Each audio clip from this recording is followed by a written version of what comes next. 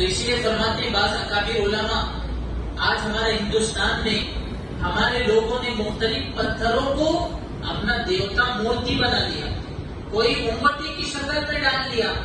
काला पत्थर, गिरीन पत्थर, जी ये पत्थर, वो पत्थर, और एक एक पत्थर को एक एक खासियत दे दी कि काला पत्थर आया तो मुझे ये फ़ायदा, लाल पत्थर आया तो मुझे ये फ़ायदा, पीला पत्थर आया तो ये फ़ायदा। अरे पत्थरा के उंगोटी क्या बनाते? आप 会在里